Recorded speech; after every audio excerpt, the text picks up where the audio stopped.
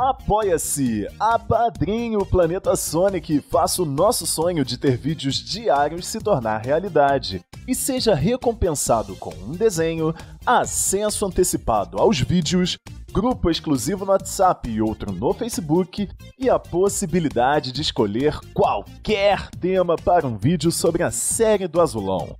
O link está na descrição.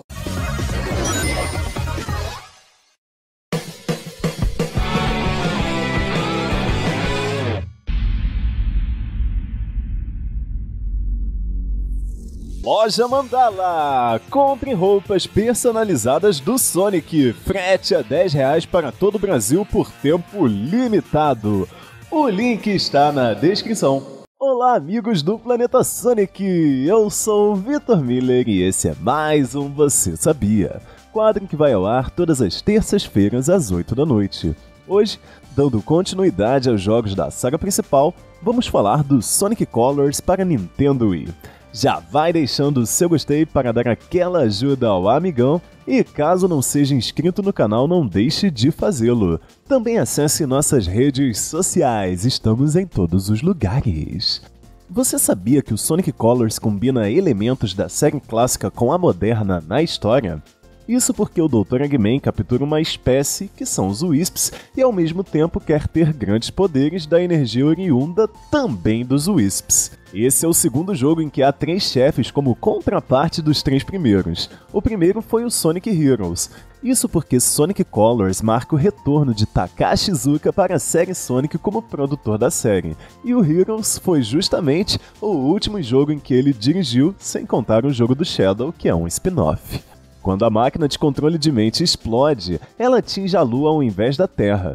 Essa é uma referência bem direta ao Sonic Adventure 2, que tem uma cena onde um raio laser atinge a Lua.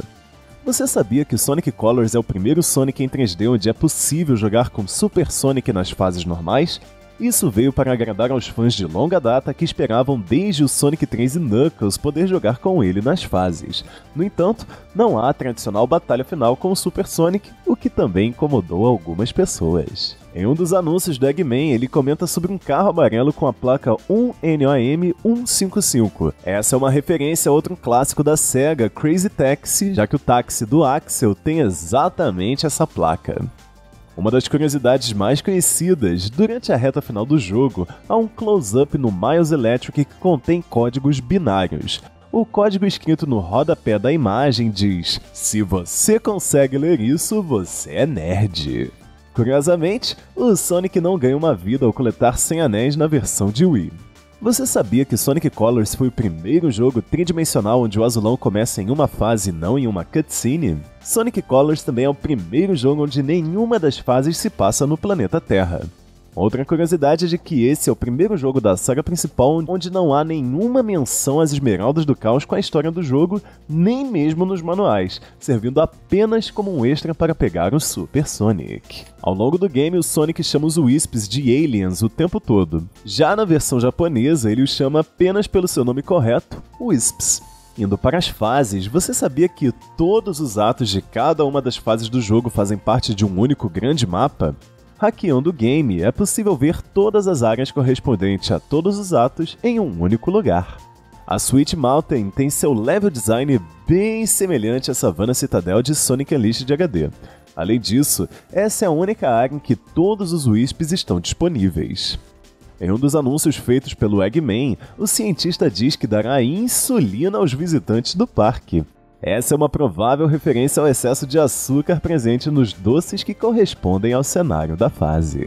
Já Starlight Carnival teve esse nome em homenagem à Starlight Zone do primeiro jogo do Sonic. Quanto ao Planet Wisp, você notou que ele contém semelhança com Little Planet do Sonic CD?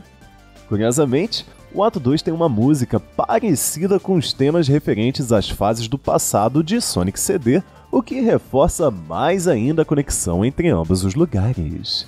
Já Aquarium Park teve seu tema baseado no Japão feudal, por isso a arquitetura lembra bastante o estilo asiático antigo. Quanto à Asteroid Coaster, ela é baseada na Eggman Land de Sonic Unleashed de HD. Isso pode ser visto nas sessões de plataforma 2D que te empurram para fora do cenário e você perde uma vida. Em um dos anúncios do Eggman, ele diz que as montanhas russas não são para crianças pequenas ou grandes bebês. Essa é uma referência ao desenho Happy Tree Friends, já que esse game teve seu roteiro escrito por Warren Graff, que desenvolveu ambos. Caso você esteja jogando com o Super Sonic nessa fase, todos os atos terão molas extras para você passar por partes em que o uso dos Wisps são obrigatórios. No ato 3, uma mola estará ao lado do início da fase, fazendo com que seja possível passar da fase em menos de 10 segundos. Já a Terminal Velocity lembra um pouco a Final Rush de Sonic Adventure 2. Além disso, o ato 2 dessa fase é o único em todo o jogo que não contém anéis e nem inimigos. Outra curiosidade é que esse é o único mundo de Sonic Colors que não tem áreas com câmera em 2D. Por fim, o buraco negro no fim do último ato acaba pegando Sonic, sendo a primeira vez e até agora a única em que o Sonic foi vencido enquanto estava correndo de algo. Falando dos chefes, você sabia que o da Starlight Carnival se chama Frigate Orkan? Essa é uma referência ao Frigate Orpheon de Metroid Prime. Além disso, a batalha é bem parecida com a Egg Rock de Sonic Heroes. Por fim, falando do Mega Wisp Armor, se você atingir o marcador de ajuda no canto esquerdo, você ouvirá o Tails falando rapidamente que o Mega Wisp Armor é muito poderoso. E esse foi o nosso Você Sabia sobre o Sonic Colors. Se gostou do vídeo, não deixe de dar o seu gostei e compartilhar com os amigos. Além disso, não deixe de apadrinhar a gente no Apoia-se, faça o nosso sonho em ter vídeos diários se tornar realidade. Também não deixe de acessar o nosso site e nossas redes sociais. Se você é fã do Sonic, é fã do Planeta Sonic. Um abração, galera! Até o próximo vídeo!